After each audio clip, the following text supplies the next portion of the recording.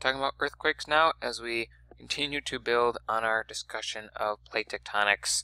and uh, essentially how our mountains are built and our plates are formed and you know, changed over time. Earthquakes are another important hazard that come along with a lot of this discussion. So uh, we have this example of from Italy in the back several years ago, strong earthquake there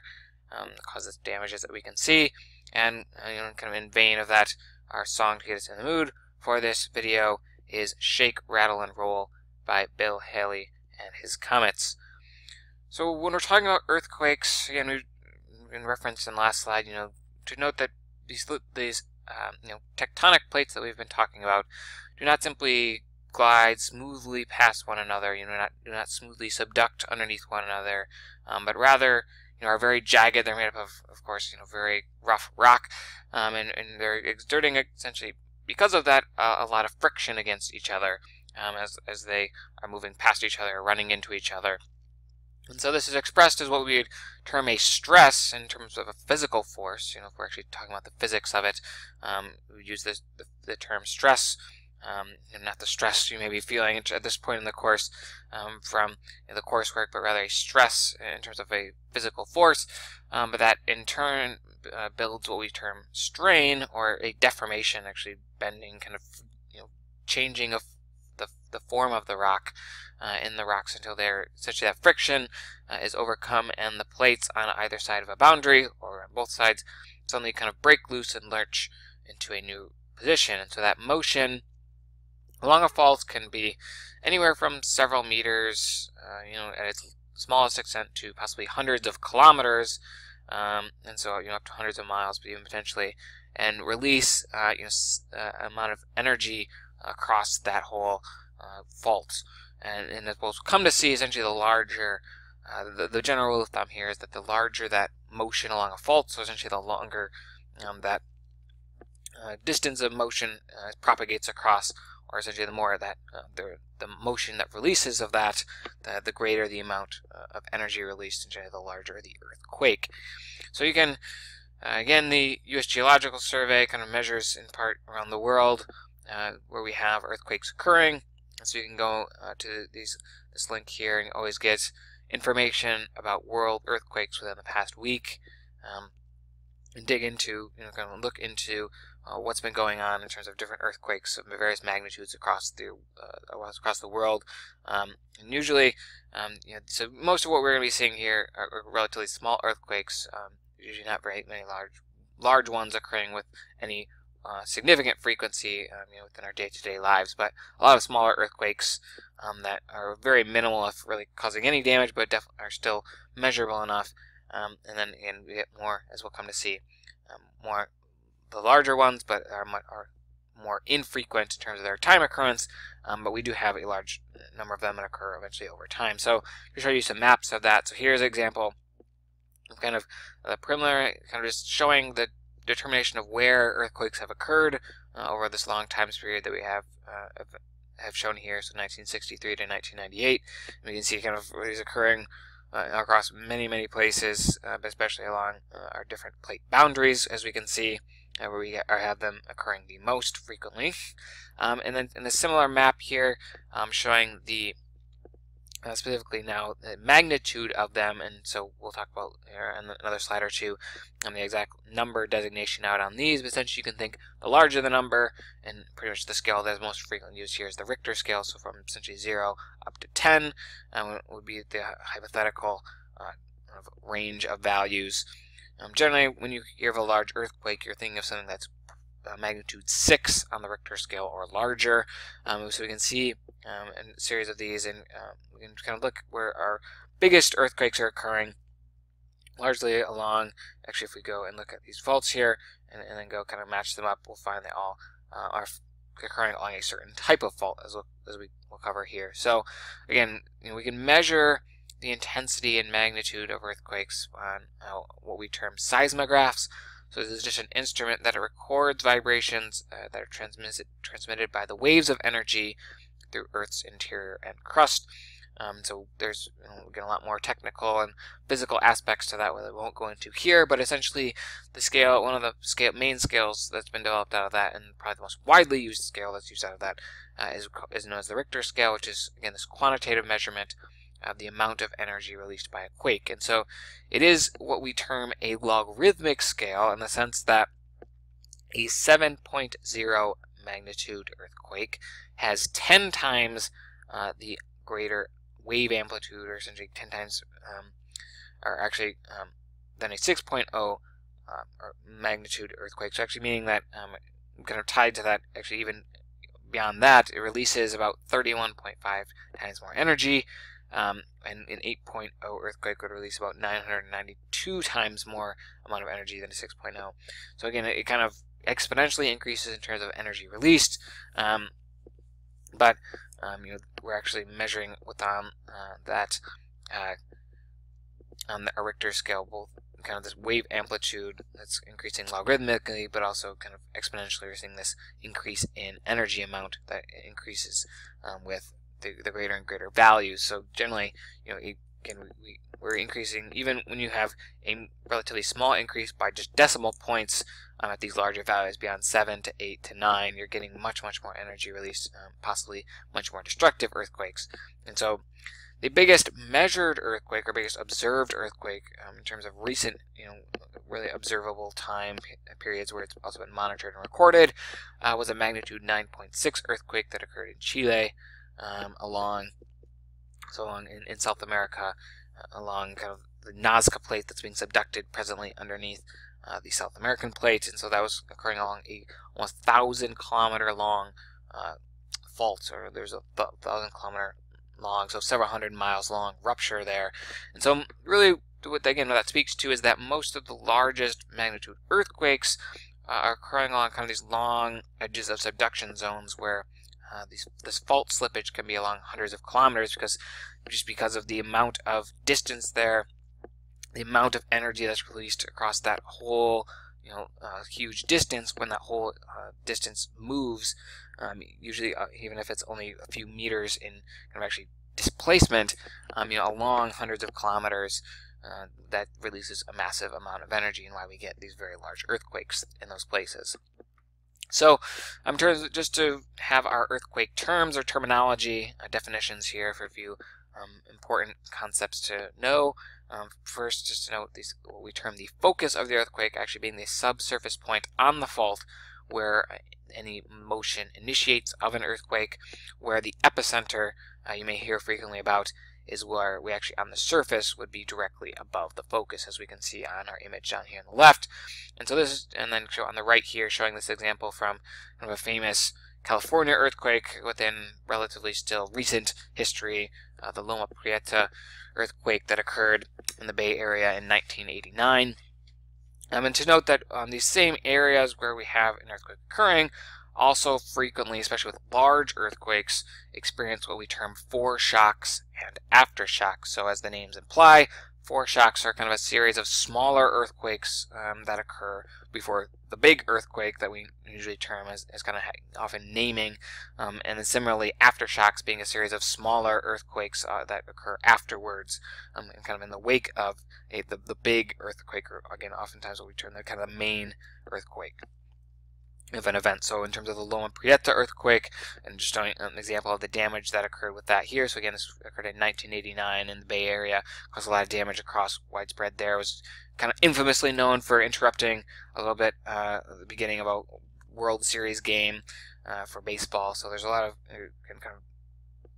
knowledge around this earthquake, kind of the damages that had occurred, um, but um, you know, in, uh, in, similar Bay Area earthquakes, and we'll talk about why those occur uh, for example, with the San Andreas fault. So this fault um, actually a transform fault. So again, we have two kind of plates or two, some different faults kind of sliding past each other, um, kind of broken up into these series of pieces actually, um, where you know, in a sense has really been over Euro-American settlement uh, in the past 100 years or so, a little over, now 150 years perhaps, um, responsible for billions of dollars of seismic damage. So and one of the most famous earthquakes tied to this being the 1906 San Francisco earthquake. Um, that was a magnitude 7.7, and that triggered a lot of more research into understanding uh, what this earth or this fault uh, was capable of.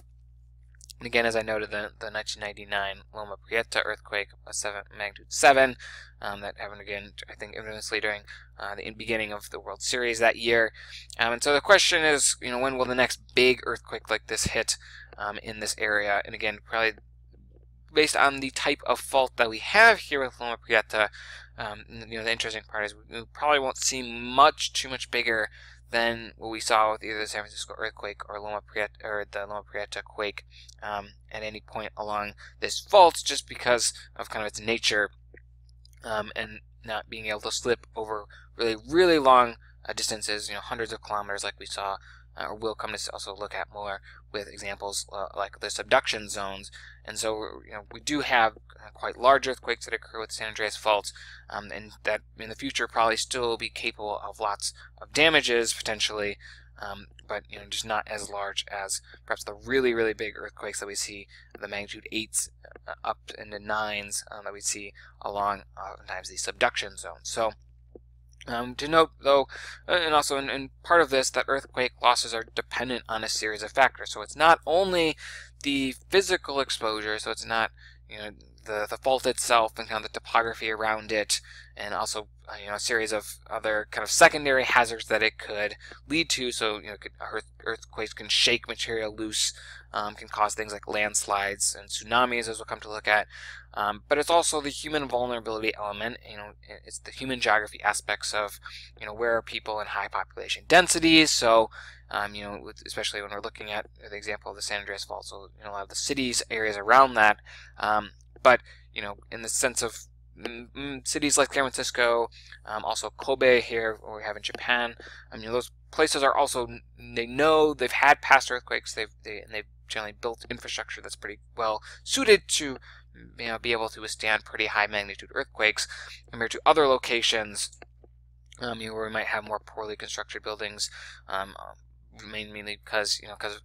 oftentimes there's much greater wealth disparities. Um, you know, essentially there's these human elements here um, that are uh, keeping many populations perhaps uh, from not being able to build um, you know, infrastructure that would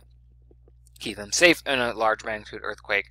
Um, so that oftentimes we see large, larger injury tolls, death tolls in places um, that have been you know, neglected in that sense. Um, so, and the toll also depends on things like time of day, emergency services available, um, you know, possible ease, ease of evacuation. So essentially, you know, what we're getting at here is that the preparedness part, um, and, you know, how are people actually in these places, um, you know, look, viewing a hazard, you know, oftentimes if there's been past earthquakes, they might be more likely to plan and prepare um, and have better infrastructure to deal with one, them. Um, but again, this also speaks to kind of human elements of you know, what are thing issues of you know, kind of economic and political aspects oftentimes um, in, in terms of how people can respond or even be able to prepare for um, these these type of events. So, an example here um, to look at this. So, an earthquake from several years ago now. This earthquake in Haiti that occurred just outside its capital of Port-au-Prince. Um, in a magnitude 7 earthquake, so really an approximately amount, same amount of energy that was released to some of the earthquakes that we just looked at, so like the Loma Prieta earthquake, um, for example. But in, in, in this is instance, um, a earthquake that is estimated to have killed approximately 300,000 people um, and injured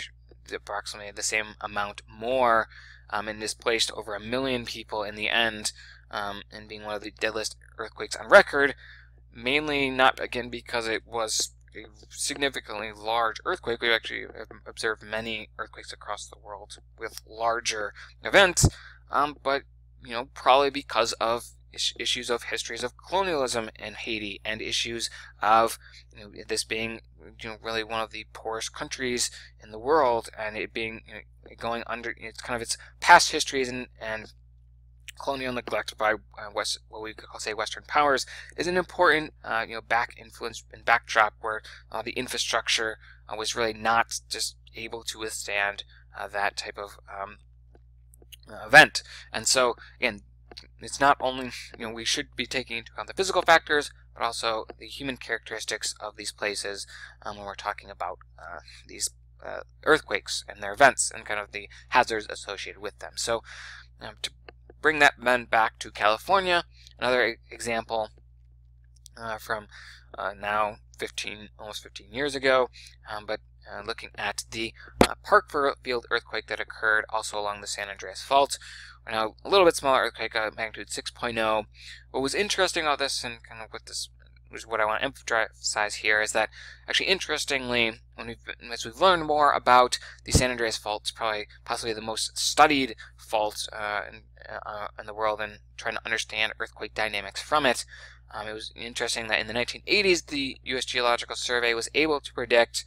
that in essentially the same type of magnitude earthquake that occurred, you know, a 6.0 earthquake would occur somewhere around that area within five years of 1988. So basically note that, well, again, the earthquake actually ended up occurring in 2004. So the idea here is that although they got really the kind of range of year wrong, you know, it ended up occurring much later than they thought it would, they actually predicted the magnitude and behavior pretty correctly. Um, and, you know, basically what, you know, the idea here is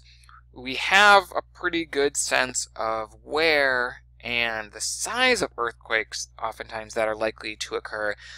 but we don't seem to really have a good sense uh, or having a good predictability of when they will occur. And that so that's an important part of you know another part of this hazard mitigation or hazard planning with earthquakes is really recognizing that yes we we have a pretty good sense now of, of observing path earthquakes, understanding faults, and getting a good idea of what faults are capable and you know how big of events they will uh, create and kind of where those will likely occur. But when they will occur is still the biggest uncertainty. Um, and so when that's really regardless across kind of different types of these plate boundaries, whether it's two continental plates coming together. Um, when these plates are collided, and, you know, as they collide and cause a series of earthquakes, we see this a lot in the Himalayan mountains uh, presently, but at other um, places where we're seeing um, plates come together as well. Um, we could also see this with ocean two oceanic plates coming together, again, where we're having that convergence of two plates, the older and colder plates being subducted under the warmer, hotter plate. Um, and so we saw this with an example of another relatively recent earthquake uh, in 2011, the Great Tohoku uh, Japan earthquake, and this was actually one of the largest um, recorded earthquakes, so a magnitude 9.0. Um, and so we can see here that occurred just off the coast, kind of northeastern uh, parts of mainland Japan.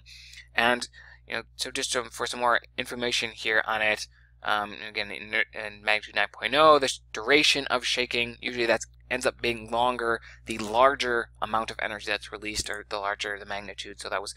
shaking of almost six minutes, um, and uh, quite a large number, actually over a thousand aftershocks, um,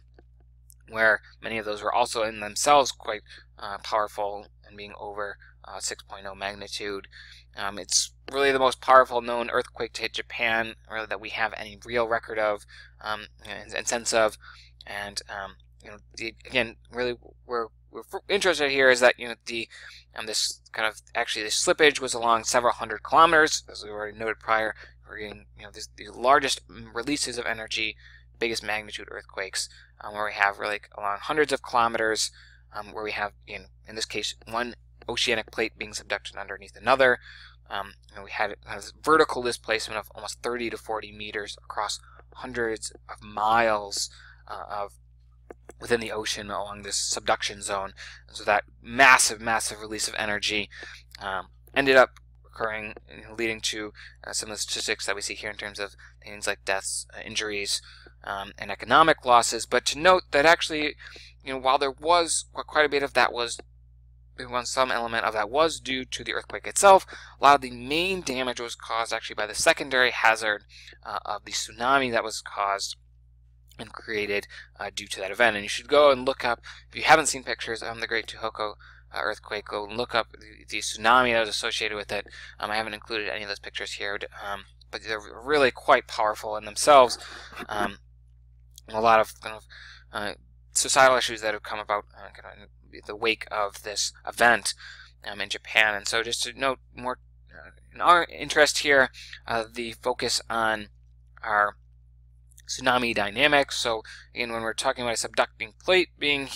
going underneath another one, um, essentially as again as we're having that um, overriding plate getting squeezed, and you know having that friction along it, we've talked about that stress and strain buildup. Um, and again, this can go on for hundreds of years, possibly, you know, kind of slowly building up that stress and strain. And so when we finally have that release of all that energy with an earthquake, um, you know, essentially we're kind of having that spring up as we can see here, and kind of raising that, say, and for the, the example of the Great Tohoku earthquake, in this vertical displacement can actually literal rising up of the sea floor of 30 to 40 meters across hundreds of miles or hundreds of kilometers of area. And so all of that release of energy kind of uplifts, creates this huge wave um, that we know as a tsunami, um, and so that's what actually then um, put and it pushed towards uh, the coastal areas of Japan. Um, and so we saw this kind of tsunami racing towards uh, inundating much of the nearby land. Um, wave waves that were um, up to tens of meters high, um, going much inland and overtopping and kind of inundating many areas. and so this, you know, again, is where is a prominent hazard in many coastal areas for where earthquakes are likely um, and so that is actually what then brings us to the final type of plate boundary, um, our oceanic and continental crust. Um, so where we have, again, are that subduction of an oceanic plate underneath a continental crust, and uh, the our own example um, really uh, uh, close to where home in the sense of Oregon, uh, the, of the example of the Cascade Range and really and coastal Oregon and Washington with this example of the Juan de Fuca plate that is being presently subducted underneath the North American uh, plate. And so this is tied to the, the reading and short answer and reading your do, you will be doing for your short answer response for this week uh, about the Cascadia earthquake um, kind of impending. You know, again, kind of this question of we seem to have some sense, based on past evidence, as you'll read in that article, of large earthquakes that have occurred because of where you know we have this big subduction zone. We've talked about how big subduction earthquakes can be now, um, and creating some of the largest earthquakes that we we have really observed. But we don't know when the next one will occur for the Pacific Northwest. You know, we really have no idea. It seems kind of based on past evidence that we, you know, there really has not been one in any time of Euro-American settlement over the past couple hundred years within the Pacific Northwest. So the question is, are we due? You know, when will the next one occur? And what does that look like for large areas of settlement? Um, so places like Seattle or other large coastal areas uh, in the Pacific Northwest. So uh, have you go read that, kind of respond to that, and have see what your reactions are to that piece um, as going forward. So that's brings us really to the conclusion of this lecture and um, and make sure you're just going back and re-emphasizing uh, and tying this back to also our discussions on volcanoes and plate tectonics for this week.